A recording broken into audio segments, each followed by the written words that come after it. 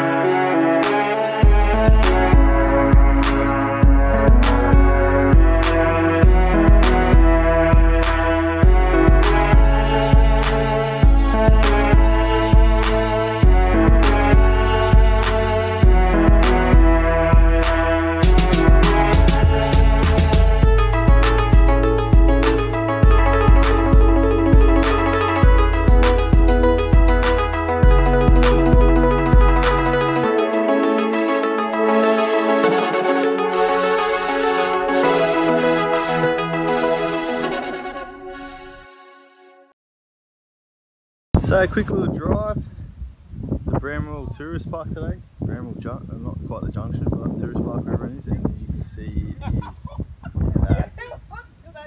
is heaps of people either heading up or coming down. Only a short drive across corrugations is pretty good. After we fixed those few snorkel issues this morning with everyone. Everyone was all good, everything's fixed. We've got a buffet tonight and happy hour starts at 5.30 definitely giving the liver a workout on this holiday. But um, we'll see how we go. Last sort of civilization for about four or five days until you get to the top. Um, yeah, and then sort of have a relax up top. All right, we'll catch you. Down to 24 for tomorrow.